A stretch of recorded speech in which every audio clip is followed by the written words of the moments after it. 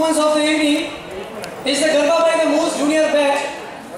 So I welcome all of them and expect a huge round of applause from you guys.